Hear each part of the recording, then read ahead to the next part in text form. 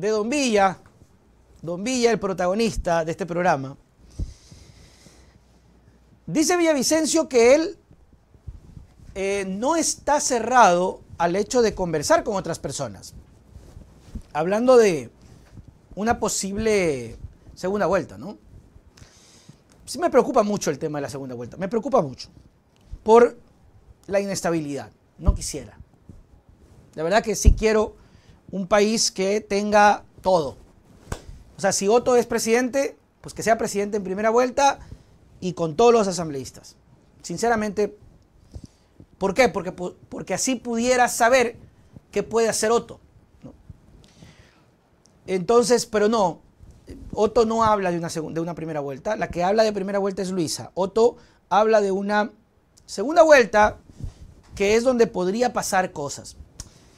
Villavicencio está muy lejos, pero muy lejos de pretender pasar a una segunda vuelta. Hay que ser eh, realistas.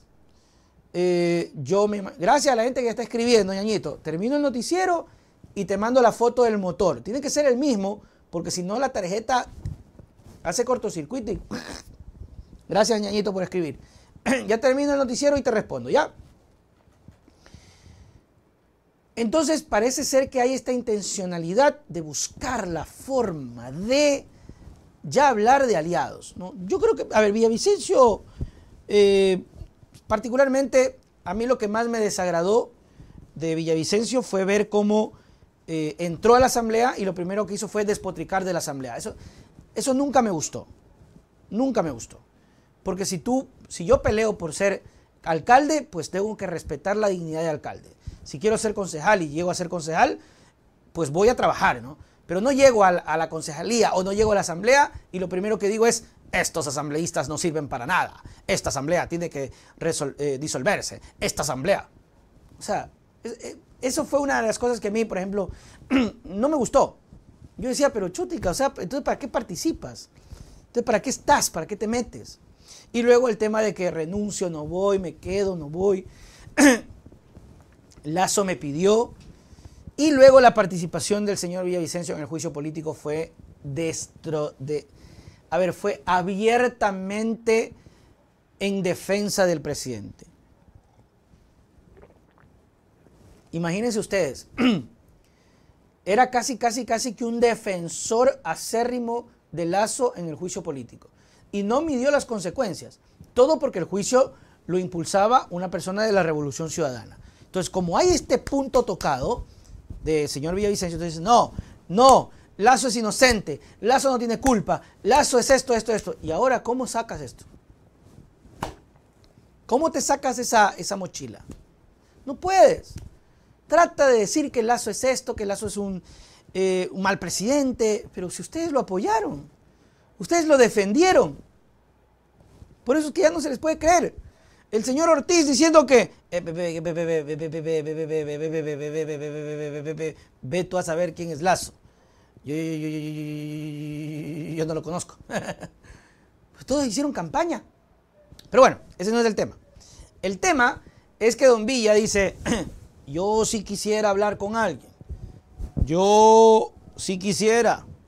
Y gracias mi querida Beri Becerra, María Augusta, Charlie pero con el único persona que a mí me gustaría conversar es con Otto Sonnenholzner.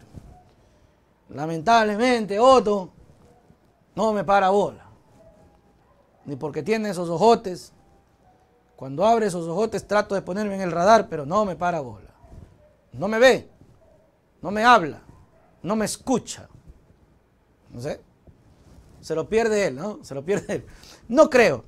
no creo, la verdad es que incluso hasta, incluso diciendo que hay segunda vuelta y pasa Otto, yo no sé si Otto sea tan en luego salir a decir, estoy complacido de anunciarles que tengo el respaldo de Fernando Villavicencio para mi presidencia. Se odió. Se odió. O sea, yo creería que, no lo haría. Pero póngame este pequeño fragmento en donde el propio Villavicencio, pues, eh, sabe que, que, que, que no hay chance, ¿no? Y que quisiera conversar con otros actores. Mire, con el único que me podría aliar, porque coincidimos de alguna manera en los eh, planes y proyectos de gobierno centrales, es con Otto Sonnenhorner, pero no ha habido ninguna posibilidad y ninguna respuesta positiva. Debo anunciar al país que me acompañará liderando la lista nacional de asambleístas el exministro del... Le hace, eh, no me parabola, no me llama, no me escribe. Debo decirles que he intentado, busco, quiero, eh, anhelo pero no, no, no. Es que no, no. Salto. Cuando Otto Sonnenholders a veces sale con, con esos farotes, yo me desespero, pero no, no me ve. No, no, no, no me ve. No me ve. Y no creo que lo vayan a ver. No creo que lo vayan a ver. En todo caso, en todo caso, eh, esto fue antes de las mediciones, pero nadie se puede engañar. No nos engañemos. No hay chance. No hay chance. A menos que existan sorpresas. Pero muy pocas. Se acabó. Martín.